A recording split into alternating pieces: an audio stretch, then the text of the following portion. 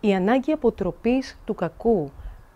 κατά την ε, λαϊκή αντίληψη ε, εντείνεται κατά αυτή την περίοδο, καθώς για τον άνθρωπο της παράδοσης η λέξη Μάιος συνειρμικά και παρετιμολογικά συνδυάζεται με τη λέξη Μάγια και τη λέξη Μαγεία. Άλλωστε, ε, ετυμολογικά η λέξη Μάιος προέρχεται από την ε, αρχαία ρωμαϊκή θεότητα Μάγια, την αντίστοιχη ελληνική Μέα, τη μητέρα του Ερμή. Ακούγοντας λοιπόν τη λέξη Μάιος, ο άνθρωπος της παράδοσης θεωρεί ότι αυτός ο μήνας είναι ιδιαίτερα ευνοϊκός για την τέλεση οποιασδήποτε μορφής μαγείας. Τα μάγια πιάνουν, λένε, το Μάιο και μάλιστα ο μήνας αυτός έχει κατά την λαϊκή αντίληψη πολλές κακές ώρες. Πραγματικά, κανένας άλλος μήνας στην ελληνική παράδοση δεν έχει γεννήσει τόσες πολλές δυσιδαιμονίες όσο ο μήνας των λουλουδιών. Γι' αυτό, τα παλαιότερα χρόνια οι άνθρωποι ε, απέφευγαν να τελούν γάμους κατά αυτή την περίοδο,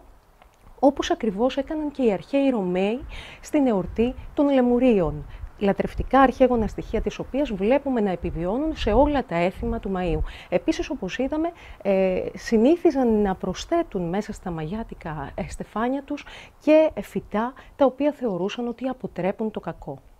Επειδή όμως ακριβώς θεωρούσαν ότι στο μήνα Μάιο τα μάγια πιάνουν, γι' αυτό ακριβώς και οι ίδιοι συνήθιζαν να επιδίδονται σε μαγικές συνήθειες, αξιοποιώντας τη μαγική δύναμη κατά τη λαϊκή αντίληψη συγκεκριμένων βοτάνων ή ε, τελώντας κάποιες συγκεκριμένες μαγικές συνήθειες για να εξυπηρετήσουν πολύ στοχευμένους σκοπούς.